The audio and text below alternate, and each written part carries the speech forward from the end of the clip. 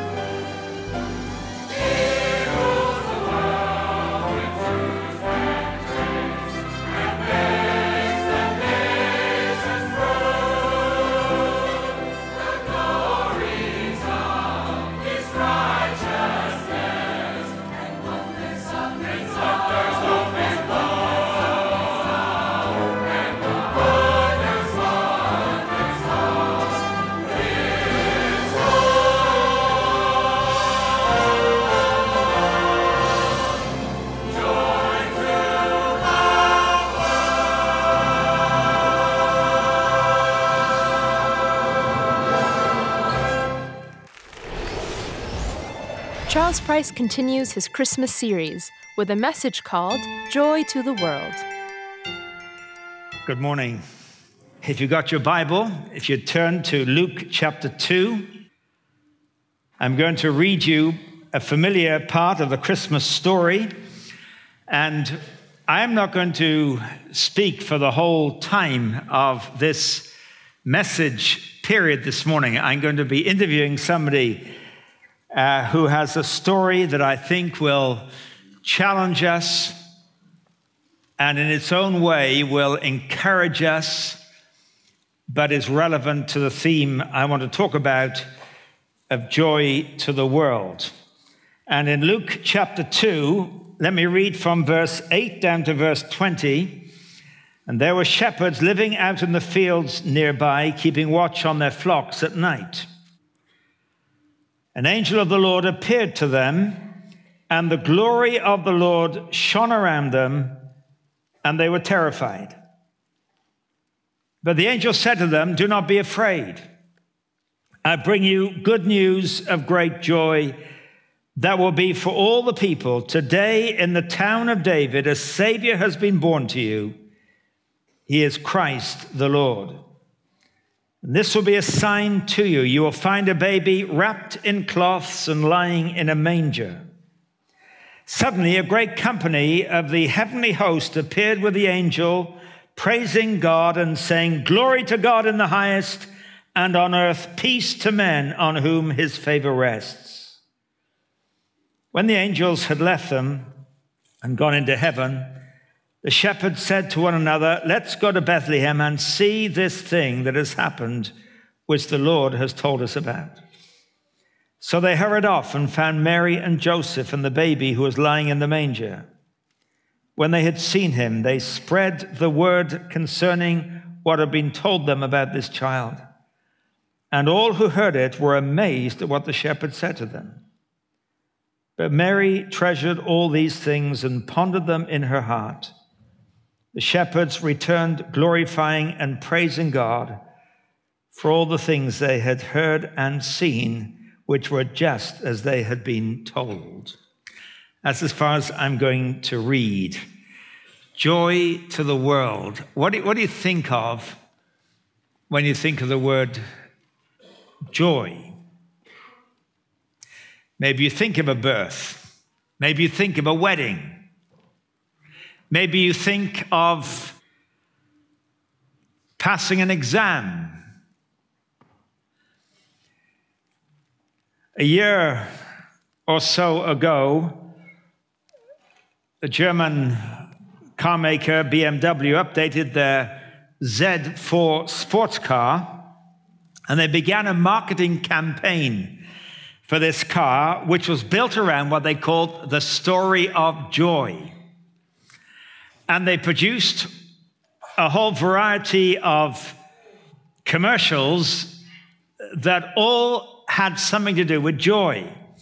And their website says that their communication focuses on the theme of joy with two priorities. Number one, the efficient dynamics of the Z4. Number two, the aesthetic design of BMW vehicles. So there you are.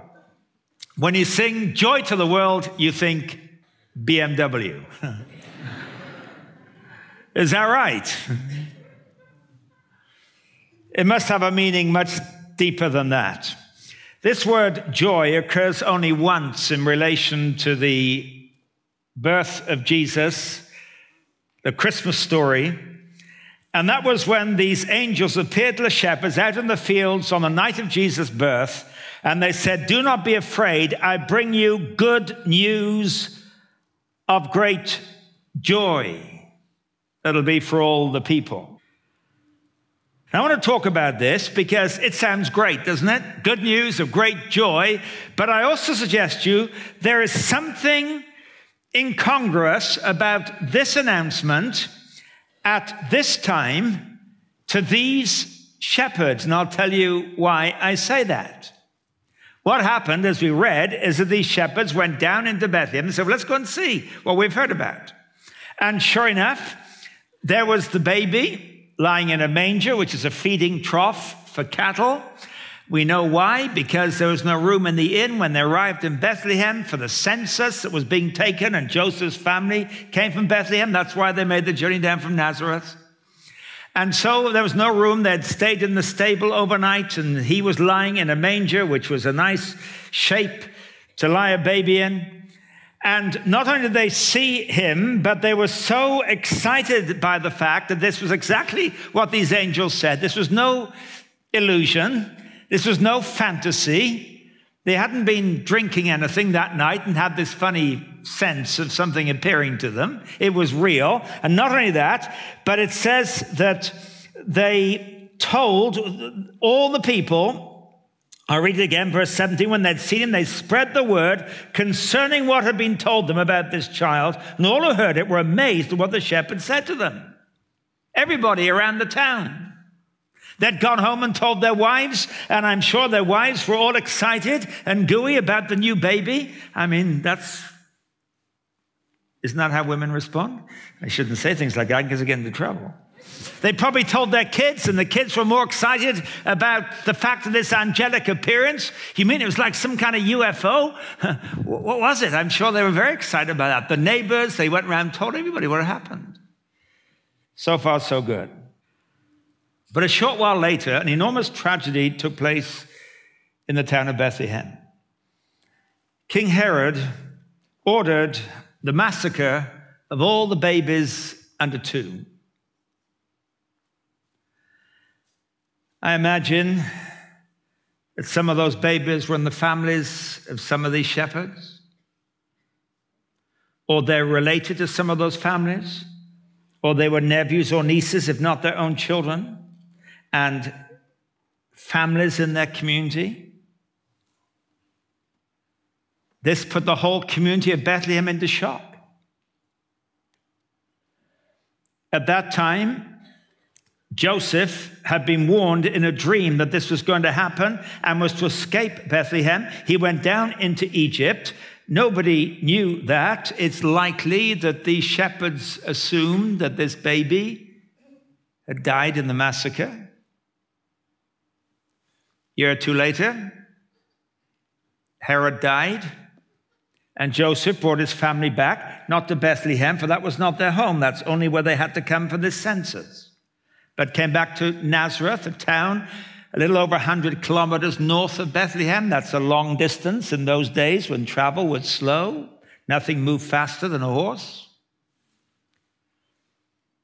And back in Nazareth, Mary kept all these things, pondered them in her heart, never told anybody about the true nature of this son that she had brought home. And for 30 years, Jesus lived in silence, under the radar, growing up as boys grew up in Nazareth, minding his own business, learning the trade of his father as a carpenter.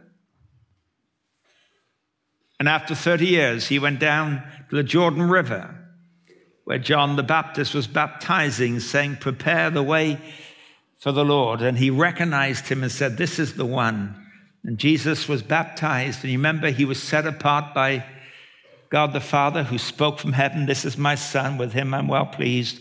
And he went back then into the north in the area of Galilee and he began his ministry. We don't know that he ever went back to Bethlehem. There's no record of him ever visiting Bethlehem again. The nearest he came was when he came to Jerusalem on a few occasions. Think of what it was like during those 30 years. There must have been many times when some of those wives said to their husbands, Are you really sure that you heard this message from angels? Yeah, we heard it. Well, where's that baby now? I don't know. I mean, he would be 10 years old now, or 15 years old, or 20 years old, or 25 years old, depending when they ask the questions. It's supposed to be something about joy. And we had a massacre.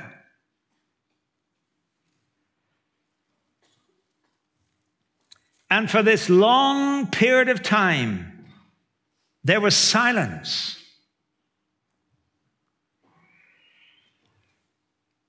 Now, I looked up in my dictionary, I have a shorter Oxford English dictionary, which they call it the shorter one, but it's two volumes and it's big and thick. And uh, that's why I don't have the real one, which is about 20 volumes. And it defines joy primarily as an emotion, which of course it is. And the words they associate with it are to rejoice, to delight, to gladden, to enjoy. But I would like to extend that definition as to why that emotion exists that we call joy, to looking to see how this word is used in the scriptures. It's used over 200 times in the Bible. And it's used in a context which is forward looking or outward looking from the immediate circumstance and situation a person finds himself in. Let me give you some examples. In Hebrews chapter 12 and verse 2, it talks there about Jesus Christ going to the cross. And the cross, of course, was a particularly brutal form of capital punishment, nailed, spread eagled like this, nailed to a cross of wood through the hands and through the feet. And it says of Jesus, who for the joy set before him endured the cross. Now, the context he puts joy in there is not in the immediate event of the cross that that was a joyful thing. But because of the joy set before him, because of the consequences, because of what's coming, because of what God is going to do, there was joy in the immediate, hard, painful situation. Joy is not the same as happiness. Happiness is a good feeling on a good day, the sun is shining, you're lying on the beach, you got a nice ice cream in your hand, and you're happy. But then a, a cloud moves across the sky, blocks the sun, drops cold, wet raindrops on you. The ice cream falls into the sand, and you're not happy anymore. And it's a fairly superficial, nice circumstances. That is not what joy is about.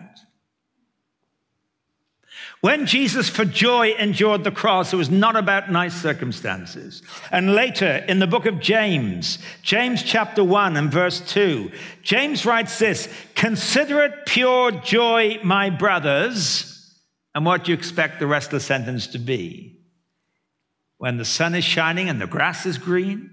No, he says this Consider it pure joy, my brothers, whenever you face trials of many kinds let me pause. That's not the end of the sentence.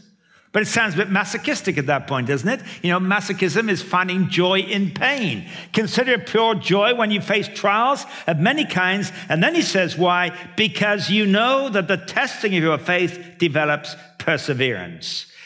In other words, consider it joy when you face these trials because these trials are bringing about something that is deeper and richer in your life. It's not that the joy is in the trial itself or in the pain itself or in the difficulties themselves, but in what you know God who delights to mold our lives to make us what we need to be is bringing about something better. So consider it joy when you face trials, he says. Now, joy is, of course, an emotion. But emotions don't exist in a vacuum. We don't just uh, have no reason to either be joyful or no reason to be miserable. Remember reading a book by Larry Crabb in which he quotes a psychologist called Albert Ellis. And Albert Ellis writes about what he calls the ABC of our emotions. Now he says, there is A, an activating event, something happens. There is B, a belief about that event. And there is C, the consequent emotion. That's why it says ABC. Activating event, belief about the event, and the consequent emotion. Now, Albert Ellis says you don't jump from A to C. The event does not cause the emotion. What causes the emotion, whether it's good or bad, is what you believe about that event. So he gives an example. Two men are standing in a rainstorm. One is mad, the other is glad. Same event, standing in the rainstorm, with conflicting, totally conflicting emotions. One is mad, one is glad. What's the difference? One is a golfer, the other is a gardener. Now, if you ask the man who's mad, why are you mad? You say, because it's raining. If you ask the guy who's glad, why are you glad? You say, because it's raining. So they both blame the same event, but the totally different emotion is because how they perceive and what they believe about that event. Two kids playing on a beach.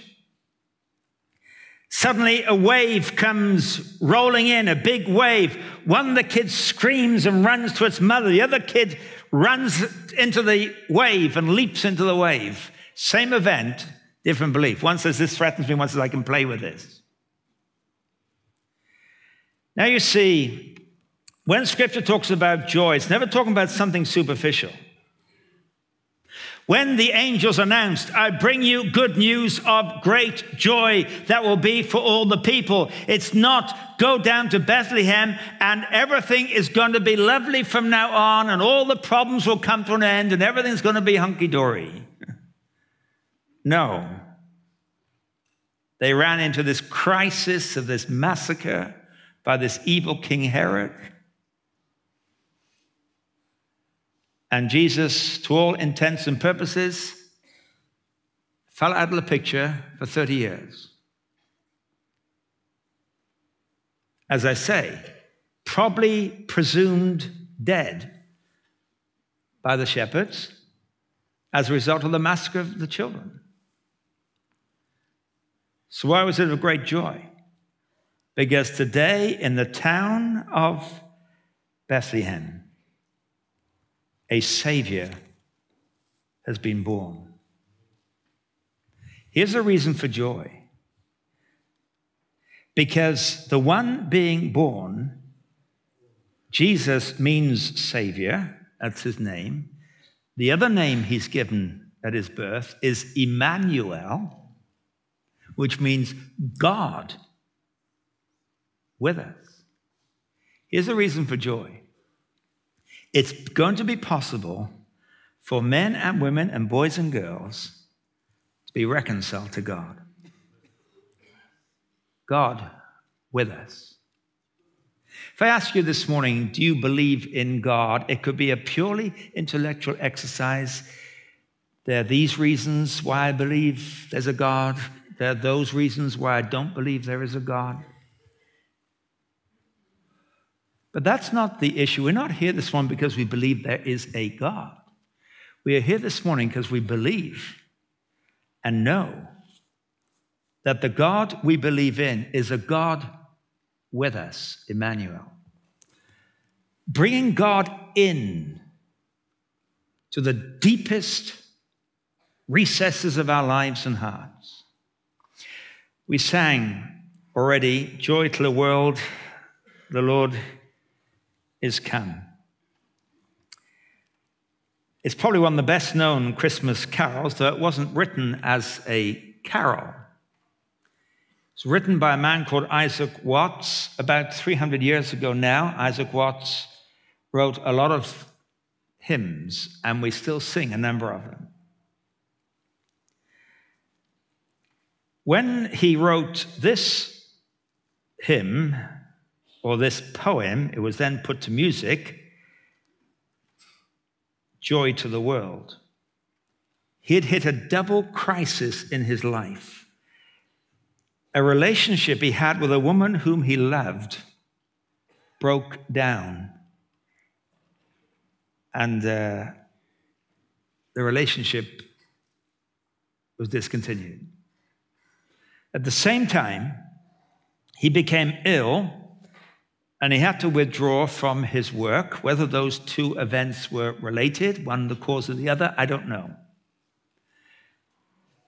But those two events, breakdown of a relationship with a woman that he'd hoped to marry, and his becoming ill, and having to withdraw, and in his brokenheartedness and disappointment, he began to read through the Psalms. And he came to Psalm 98, and he wrote this song on the basis of Psalm 98.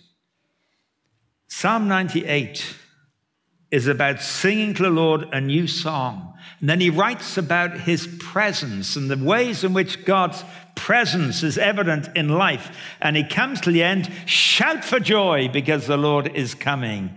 And that's what David wrote. So Isaac Watts wrote, Joy to the world. The Lord is come. Let earth receive her king. Let every heart prepare him room, and heaven and nature sing. No more let sin and sorrows grow, nor thorns infest the ground. He comes to make his blessings flow, far as the curse is found. That is, as far as the impact of the curse of the fall has spread, so the presence of God will spread into all of those areas and we can experience joy.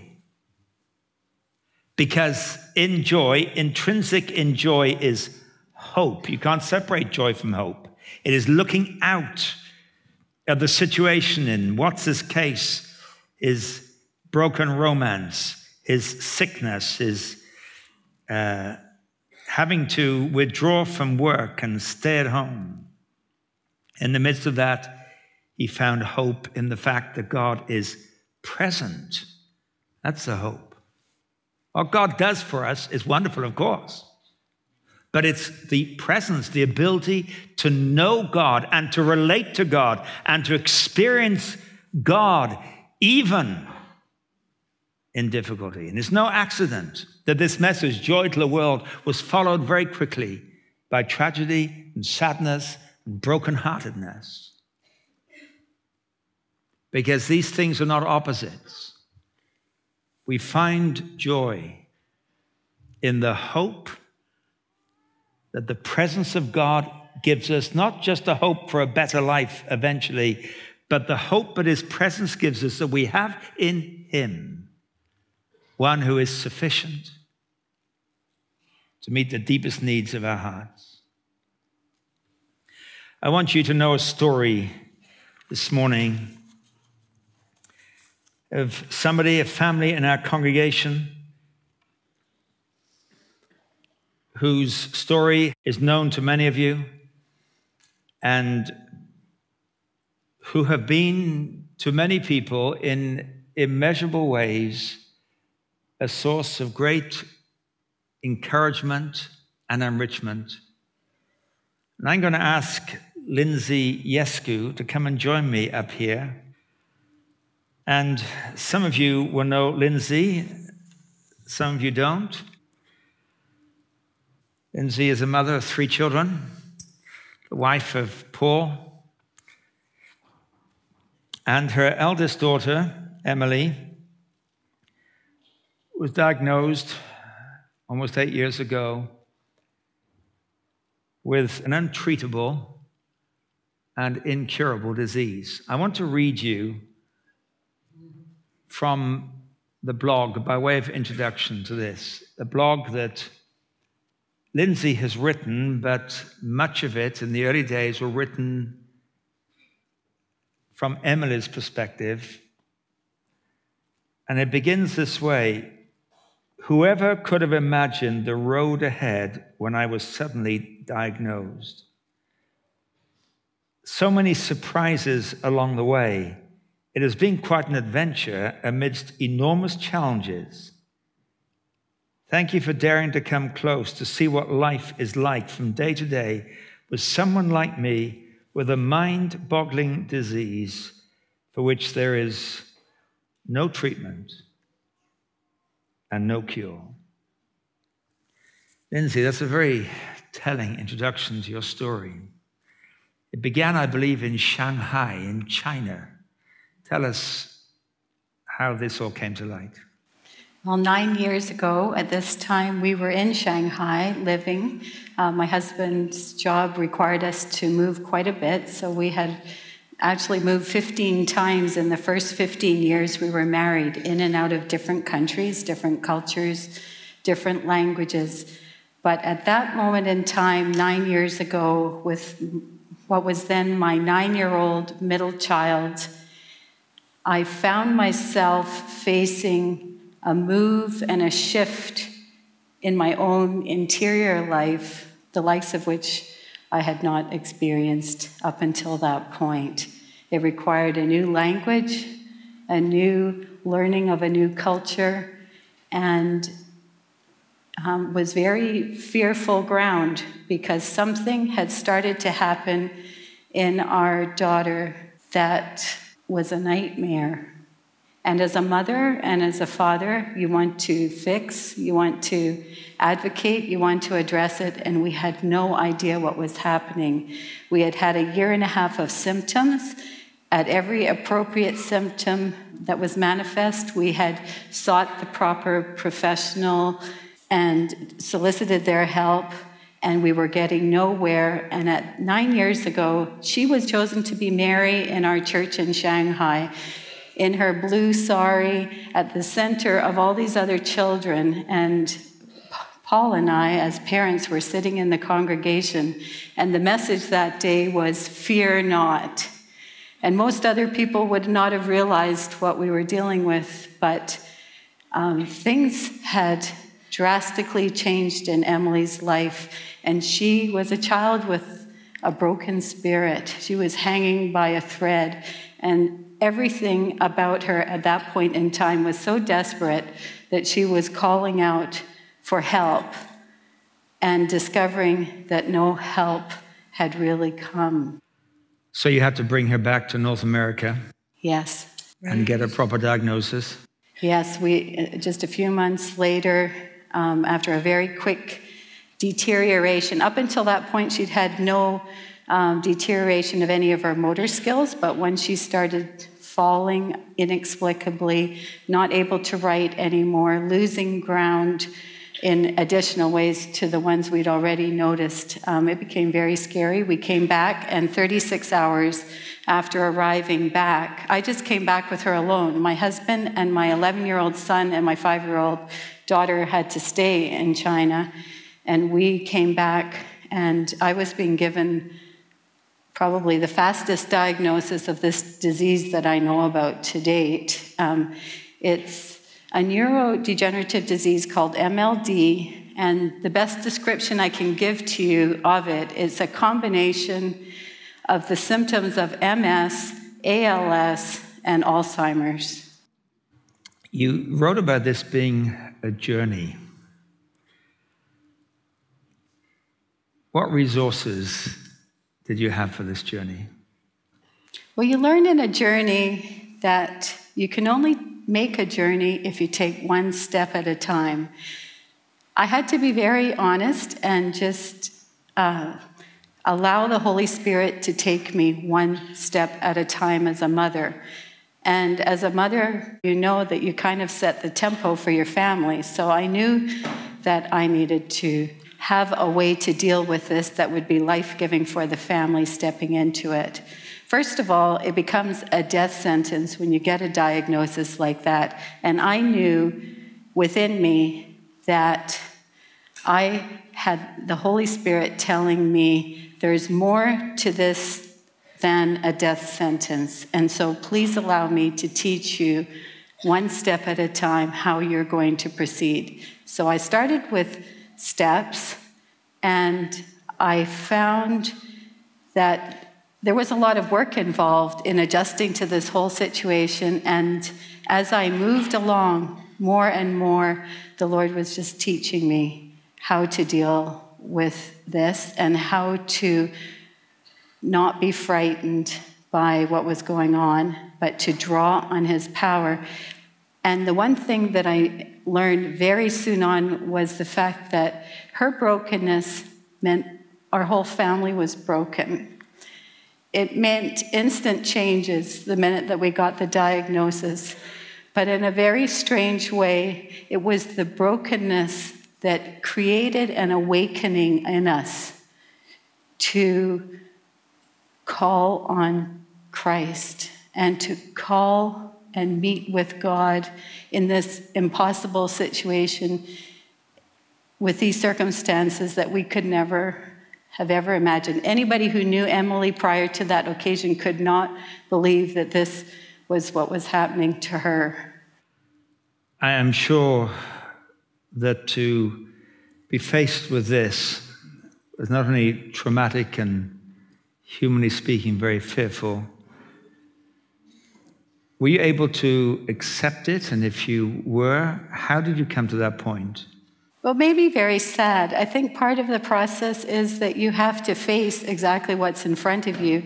And what was in front of us was changing very rapidly. Every setback that she experienced happened from one moment to the next. There was no leeway ground. So it was all very quick. I could say to the Lord and explain to Him the cries of my heart, but I could also say, in this experience, I know that you are making a way as you have made in the past. This is no surprise to you, and we just throw ourselves on you to help us in the coming time. And we know that you will be with us in this because the essence of the scripture is that God is near to the brokenhearted, and we were a brokenhearted family, and the brokenheartedness has continued on through these um, eight years since then in different ways, but the brokenheartedness is not the whole story. And uh, to me, I've learned joy. Joy must sound very difficult in a situation like this, but there is joy there. But it's not a goal, and it's not, it's not a, the beginning in itself. It's a symptom of God meeting with us at the most broken part and the most raw part of our life when we have no other recourse.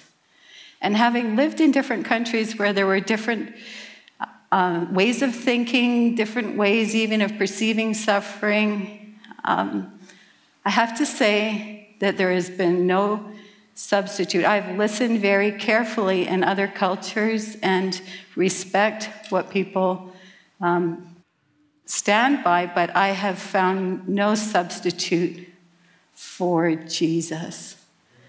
And that is true of Emily as well too. She has no substitute for Jesus because there is an identification there that when things are at their worst, and it gets bad sometimes, um, she can identify, and any of you who know her just know that she just radiates something inexplicable. She cannot speak anymore. She cannot eat anymore. She cannot walk anymore. In fact, she is a few blocks away from here, lying in her hospital bed at home. We keep her at home. And she is surrounded by lots of care, lots of nurses, doctors, therapists that come to her because she cannot go to them. The only time she ever goes out is by ambulance in a stretcher. And um, how can a person like that? have life and exude life and have the light in their countenance. She has it. One of the remarkable things I think that those of us who've known you and f- followed you on this journey is that your whole spirit and, and commitment to Emily is very deep and very remarkable, your ability to understand and identify with her. But you're not preparing her for death, you are helping her to live life. And that has defied a lot of expectation. You know, she, you were told she would have three years, was it eight years ago? Yes, three and a half years ago was the last time I was standing up here, and it was three weeks after I had been sent home from Sick Kids Hospital and told there was nothing more that could be done for her. And I had been instructed to um, prepare myself and the family for losing her within a two week period.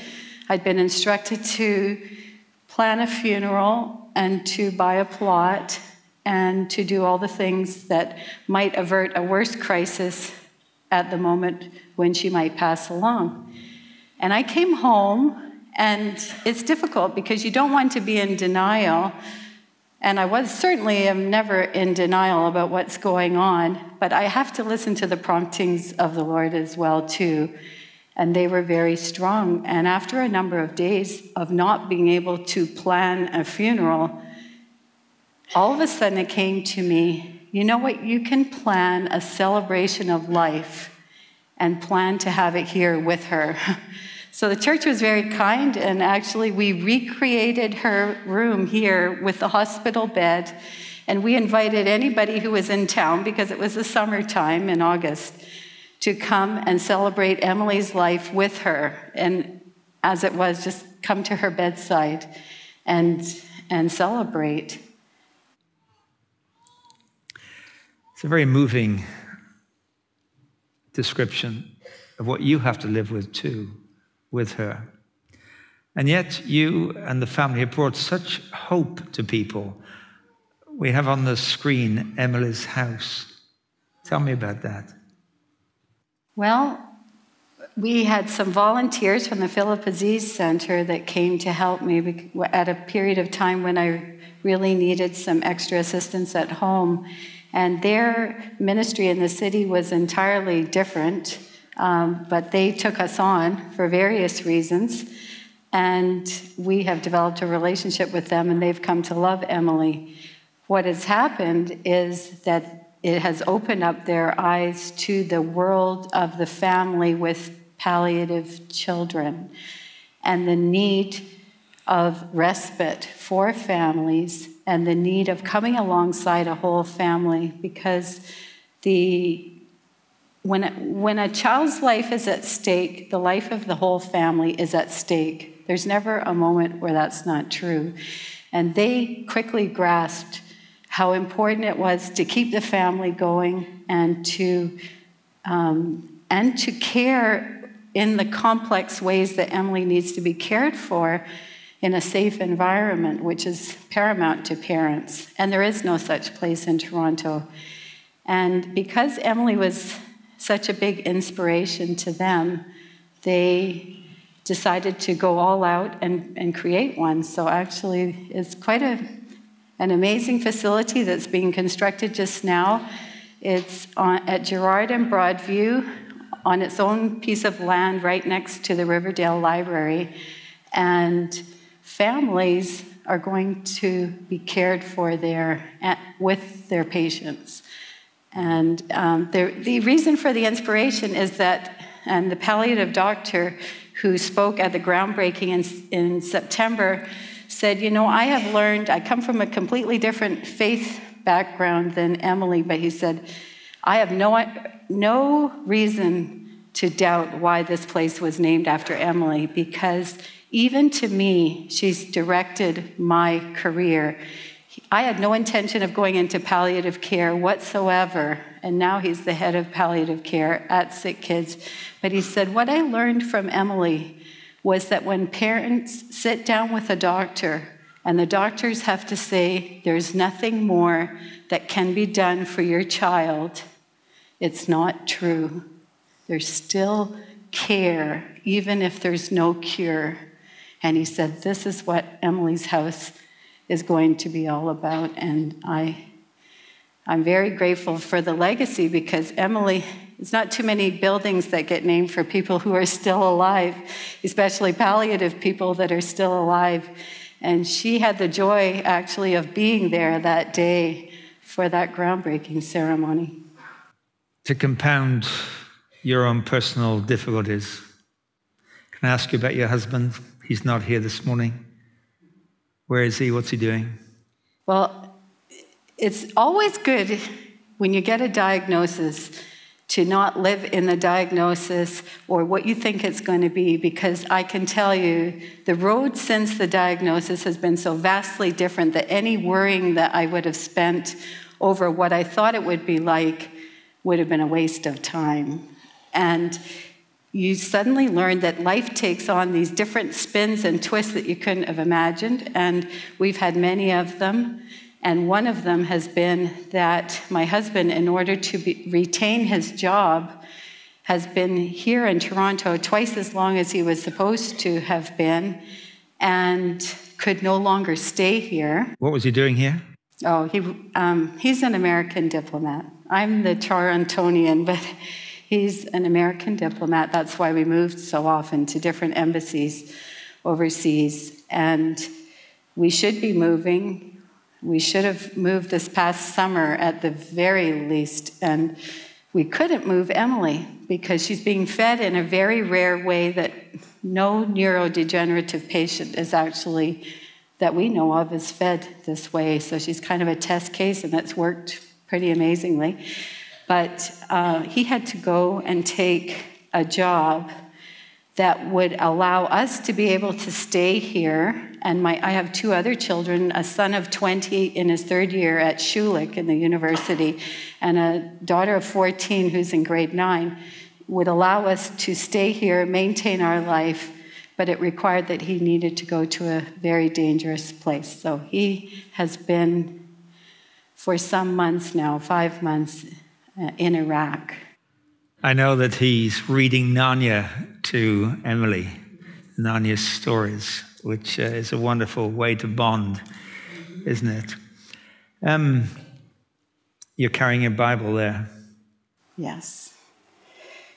Yes, I'm carrying a Bible because maybe we can finish just with a, a little bit of a conclusion here that might sum up everything that has not been said, that could have been said. 2 Corinthians chapter 4, starting at verse 6.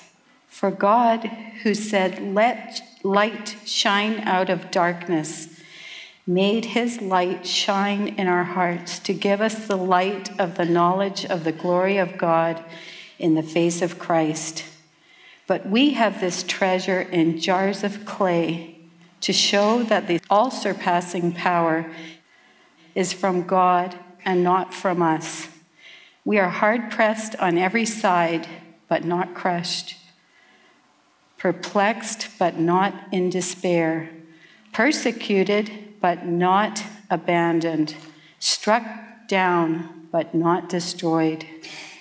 We always carry around in our body the death of Jesus, so that the life of Jesus may also be revealed in our body. Therefore, we do not lose heart. Though outwardly we are wasting away, yet inwardly we are being renewed day by day. For our light and momentary troubles are achieving for us an eternal glory that far outweighs them all. So we fix our eyes not on what is seen, but on what is unseen. For what is seen is temporary, but what is unseen is eternal.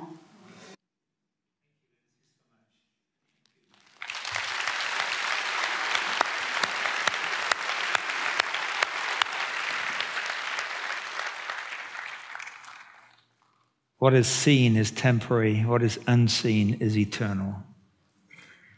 And this joy, it comes to us through the gift of the Lord Jesus Christ, making it possible to be reconciled to God, to know Him in the deepest parts of our lives, in the darkest parts, in the most painful parts, is a presence that gives us hope and gives us joy.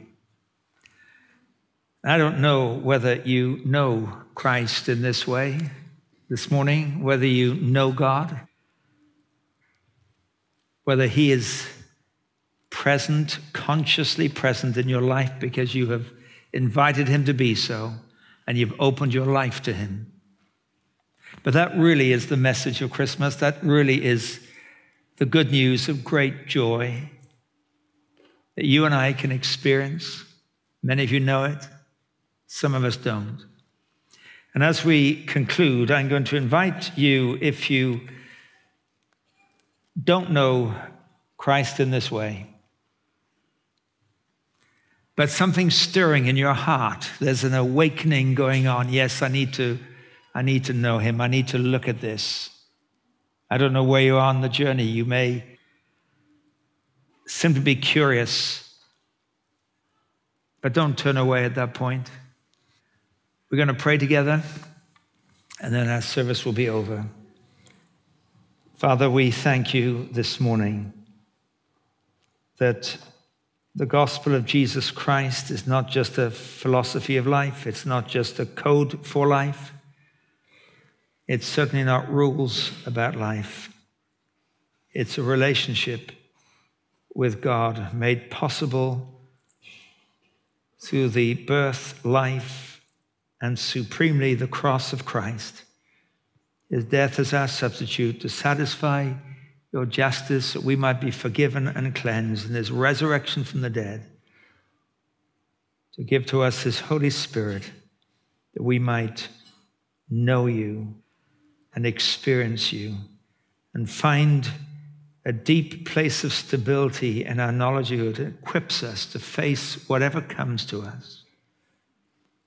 We thank you for Lindsay and we pray for her I pray for her family. We pray for Paul in Baghdad. We pray that your presence in their lives as a family, though separated by such distance, will be something very deep, very real. And thank you for Emily. Thank you for what her life has meant to so many people who have been touched by her in some way. Thank you for the way she radiates your presence. We pray as we go into this week, we'll be men and women who relate every situation we face to you. And thank you that you have proved to be utterly trustworthy. We pray this in Jesus' name. Amen.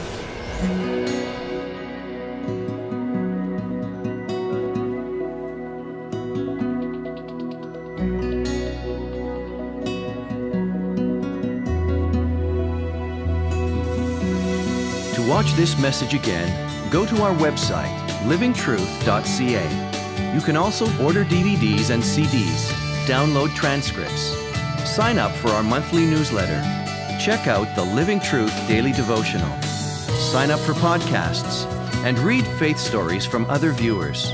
We love to hear from you, so send us your comments and testimonies. Living Truth is supported by viewers like you. Thank you for transforming lives through your financial participation. Tune in again next week for the conclusion of our special Christmas series, Good News, Great Joy. Part 3 is called Peace on Earth.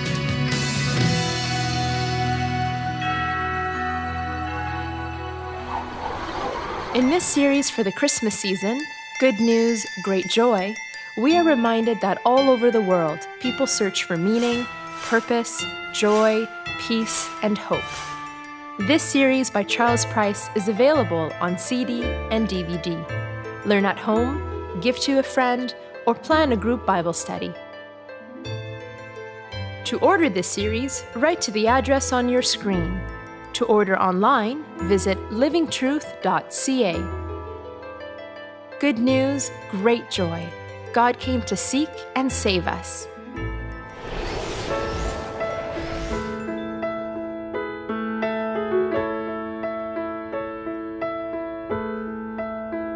The story told over endless years of a starry night, mother's tears went through the stillness.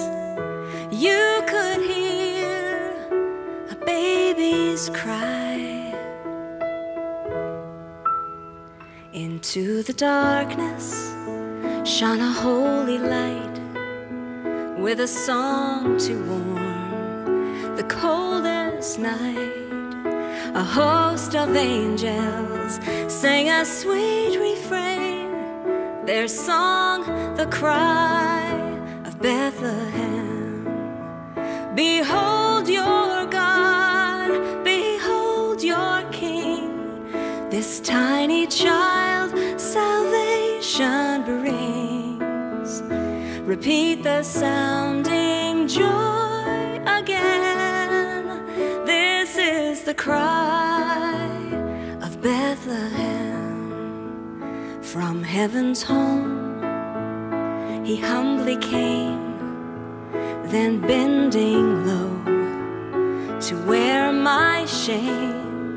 The breath of God, his word became a baby's cry. Beyond the skies, beyond these days, will our anthem ring with ceaseless praise. Let us adore him, the one who came, echo the cry of Bethlehem. Behold your God, behold your King, this tiny child salvation brings. Repeat the sounding joy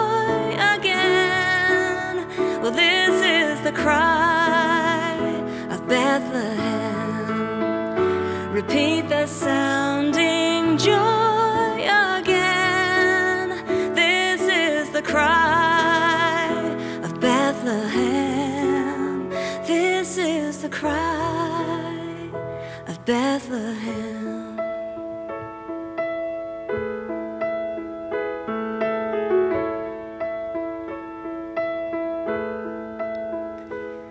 Christmas Eve, we will gather near with the tender ones we hold so dear. But through the stillness, may we hear a baby's cry.